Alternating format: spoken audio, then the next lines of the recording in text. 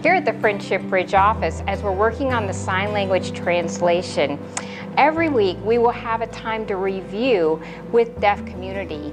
We ask them to come in, whether they're Christian or not Christian, and watch what we've been translating for accuracy and also especially for fluency and understanding.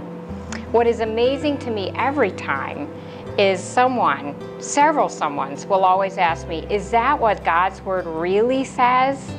We're so excited. We know that we're going to see fruit from this work. We have an amazing opportunity to bring the Word of God to the deaf Thai community. But we need your help. Century Charities has funded our startup and established a matching grant. With their generous contribution, we are 55% on our way to our goal. However, we still need $75,000. Will you join hands with us to bring the Word of God to the deaf people of Thailand.